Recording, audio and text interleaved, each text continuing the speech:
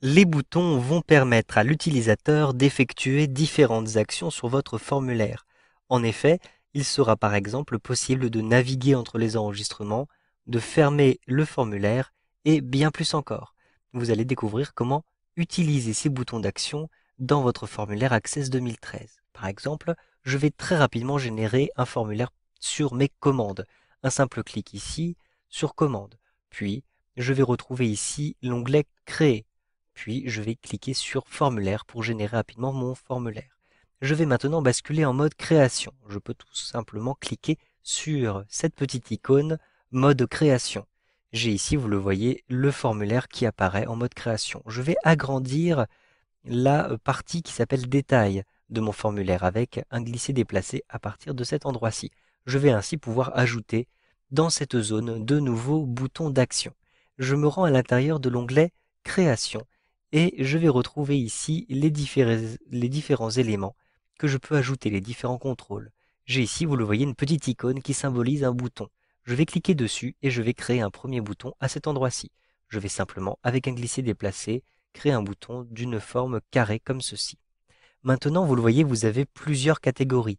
Déplacement entre enregistrements, c'est-à-dire aller directement au dernier enregistrement, au précédent, au suivant, au premier enregistrement, rechercher le suivant ou rechercher un enregistrement. Vous avez des opérations que vous pouvez faire sur les enregistrements. Annuler un enregistrement, ajouter un enregistrement, dupliquer, etc.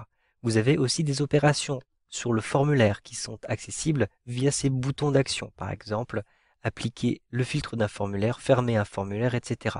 Je vous laisse explorer les différentes catégories et les différentes possibilités qui vous sont proposées. Je vais ici simplement cliquer sur déplacement entre enregistrements et je vais choisir ici enregistrement suivant. Donc je vais créer un bouton qui va s'appeler suivant. Je sélectionne ce type de bouton puis je clique ici sur suivant. Ensuite, je vais ici soit indiquer un texte qui sera écrit dans mon bouton, donc il me suffira de cocher texte et ensuite de rentrer le texte qui m'intéresse. Je peux aussi utiliser une image.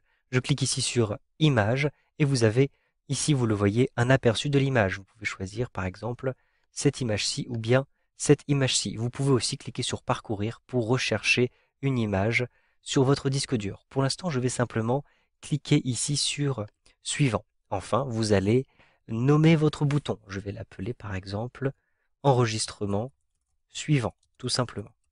Ensuite, je clique sur terminer. J'ai donc un petit bouton avec une flèche dessus qui me permettra de naviguer d'un enregistrement à l'autre.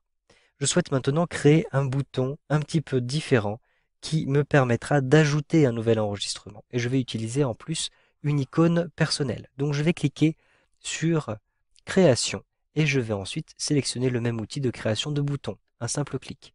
Puis je vais ici créer le bouton, donc par exemple de cette taille-ci.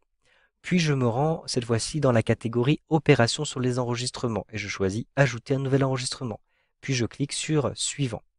Ici je souhaite utiliser une image. Donc je clique sur parcourir et je vais retrouver les images qui se trouvent sur mon disque dur. Par exemple, ici j'ai un dossier images et j'ai plusieurs icônes à cet endroit-ci. Donc je double-clique dessus. Ici, il n'y a aucun élément. C'est normal puisque je suis ici en format BMP. Donc je clique sur la liste et je choisis le format des icônes.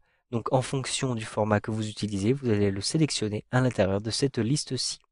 Je vais donc ici sélectionner une icône qui m'intéresse. Donc par exemple, je souhaite utiliser cette icône-ci pour créer un nouvel enregistrement.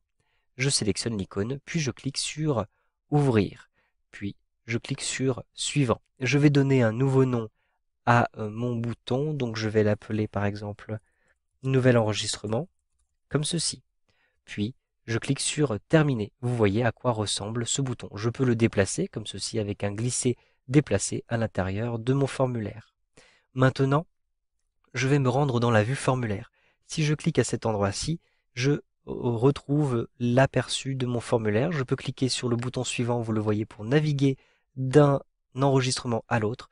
Et je peux cliquer sur Ajouter un enregistrement pour avoir un enregistrement nouveau que je pourrais compléter vous le voyez avec les informations qui m'intéressent. Vous savez donc maintenant comment insérer des boutons d'action à l'intérieur de votre formulaire avec Access 2013.